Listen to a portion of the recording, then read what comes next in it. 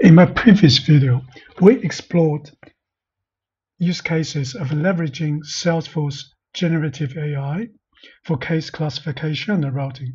Today, let's dive into the implementation steps using Apex and Flow. By following these steps, you can empower your agents to handle incoming cases more efficiently and accurately. To start, we need to craft a prompt. Here's a sample prompt to guide you. User persona. Begin by defining the user persona. This sets the context for the language for the large language model. Next, secure grounding. It includes the case record information, such as case subject and case description, to provide context. In this case,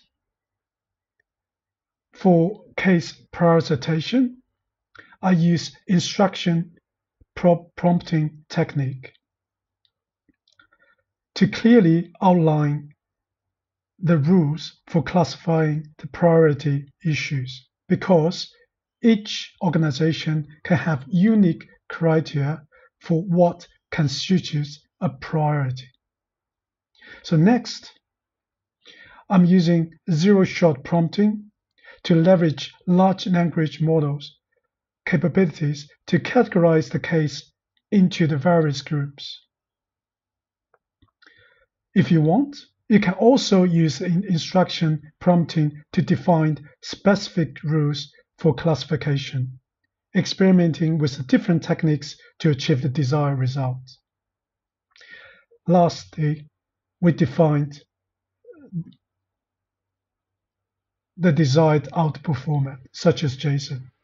Also, we specify the results in, in this JSON. And this JSON output will be consumed by the Apex invocable methods next. Next, we need to create a prompt template in Salesforce. So go to the setup, search prompt, find the prompt builder,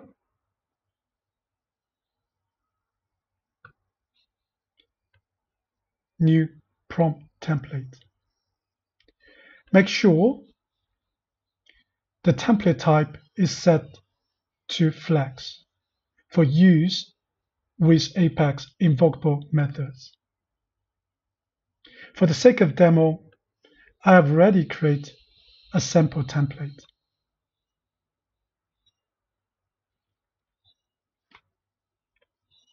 After put, inputting the prompt into the template, you can use the preview section to check resolution and response.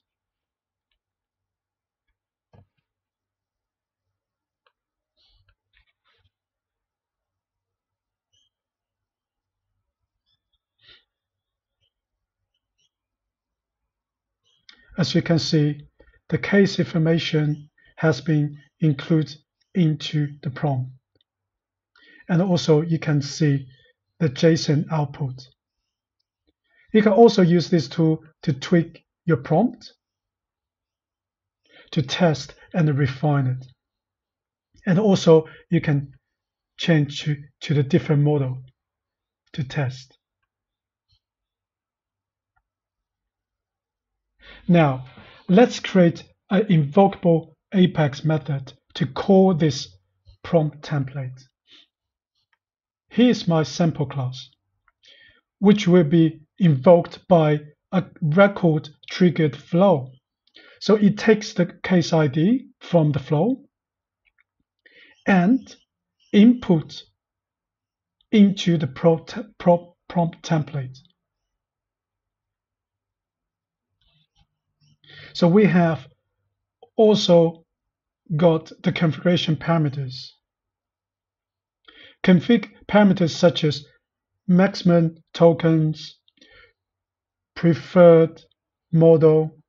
In this case, I'm using GPT-4 Turbo. Frequency, penalty, presence penalty, all these parameters. You can in find connected REST API developer guide.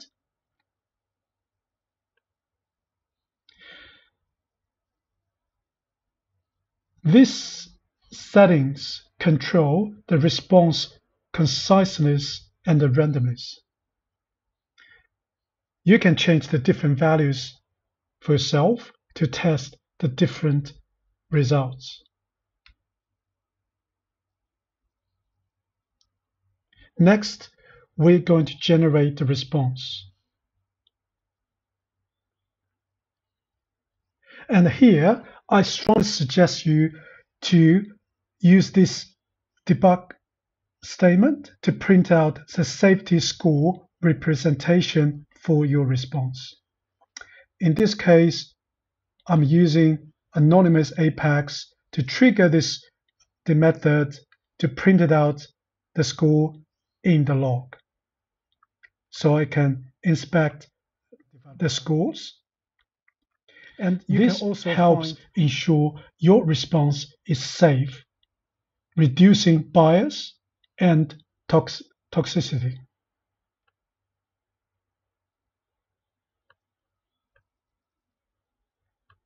After we have the JSON output, we extract information and pass back to the flow.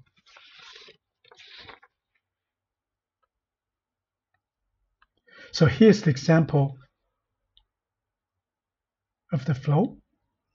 So once we use the Apex action to get the JSON output, we use the update records action to update the relevant fields such as routing the case to the correct queue.